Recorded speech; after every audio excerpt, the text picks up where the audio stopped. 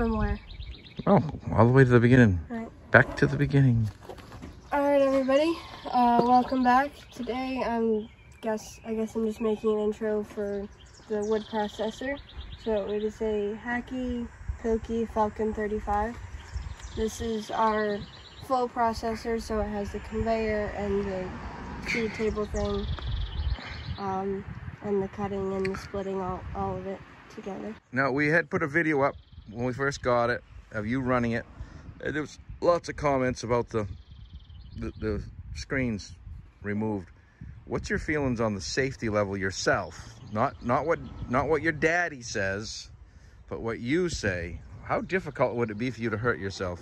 Well, I would be standing here, so I can't reach directly to the saw if I had the urge to do that. And so in order to get to it, I'd basically have to come from that side or be all the way over here. And for the splitting, I can't reach the manual splitter, so I'd have to be in here when the saw's going.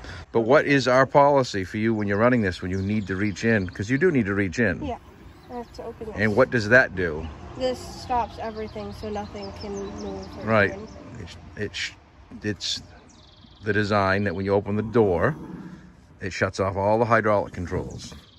So you can't make it go. Now the conveyor, outfeed conveyor may still be running when you lift that up, I think.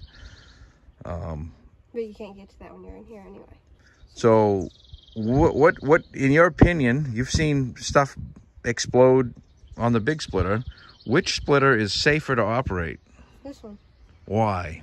Because when they explode, they usually go sideways, and you're all the way back here anyway. That's right.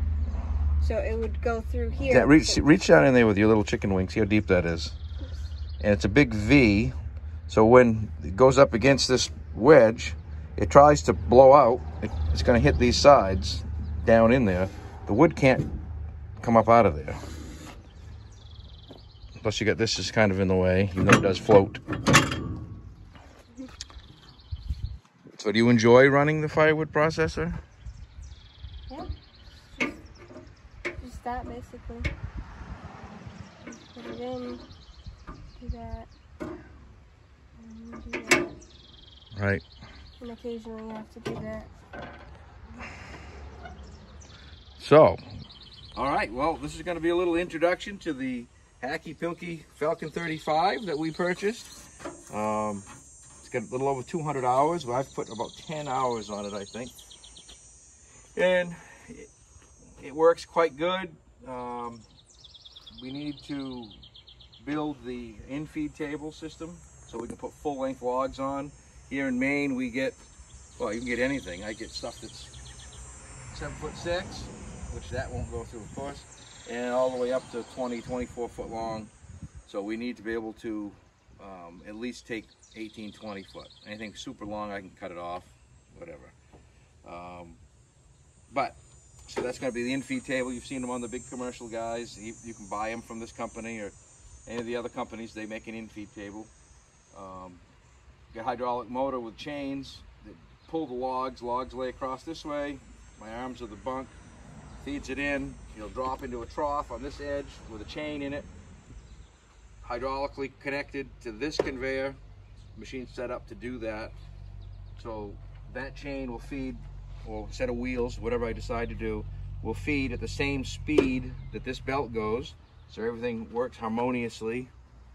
And it's all set up here with ports to run that set of hydraulic motors. And another set of ports to run the feed that goes this way. That's what this lever here does, in and out. That'll roll the logs in. So then we'll be able to be really efficient. And as we have the video of the Milwaukee chainsaw, not the cheapest electric battery powered chainsaw on the market, but it is safer for Millie and Ann, my wife, to operate. They still need PPE, but you eliminate a lot of the problems of a gas powered saw, especially considering how often you would actually have to use a saw in relation to the processor, cutting off knots, branches, flares on the bottom, where they because the loggers they cut right at the ground level, and there's, a lot of times there's a flare on the logs. Any crotches. This one here's got a crotch in it. This one over here does too. Yeah, See, the, this processor can't handle stuff like that. An Eastonmade, no problem. It'll either split it or it'll smash it to dust. This, not so much. It's kind of a princess. It likes wood about that big and it flies through wood that big. It's perfect for that stuff. Every machine has it has its sweet spot, and that's I think what this one is. So we're also going to lift this up about two and a half feet on the concrete blocks. It'll sit on each end, the little skids that it has, and I'll attach it uh, quasi permanently. We'll come up with a, a system to hold it so it doesn't vibrate or get bumped and knocked off. We'll have a working platform, just like you're standing here on the ground, but it'll be up two and a half feet. And the, well, obviously the in-feed conveyor is going to have to be up that high too. And it's for the ease of cleaning underneath this machine. It's a real pain in the tuchus. It builds all up with sawdust and chips and it's a disaster. And I have a spot in mind to put it. And once I get around to it, they're about the round to it's about that big. So when you get those, they usually cast iron round to it. When I get one, I'll be able to get this all going.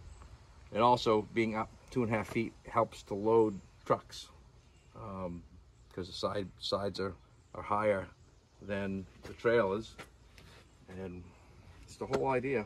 Efficiency, keep the touches down on the wood, not touchdowns, touches down.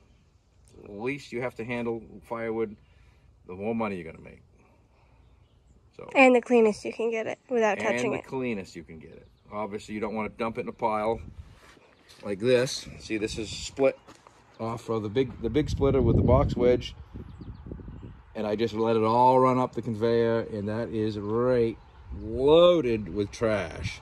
If you brought that to a customer, that would be the last time you went to that customer. But since we, we do the roadside stand off from this pile, we'll just pick through it. There's no way I would deliver wood like that to a customer. So disc cleaner is in the future also. It's just a matter of lots and lots of money and time. I have neither of those.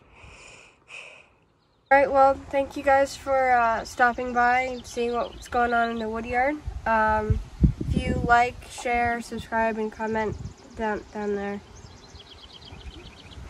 My, my face is here. Just checking your safety sandals. Well, uh, and then if you press the bell, you'll get uh, notified when we put up some more videos. So, thank you. Bye.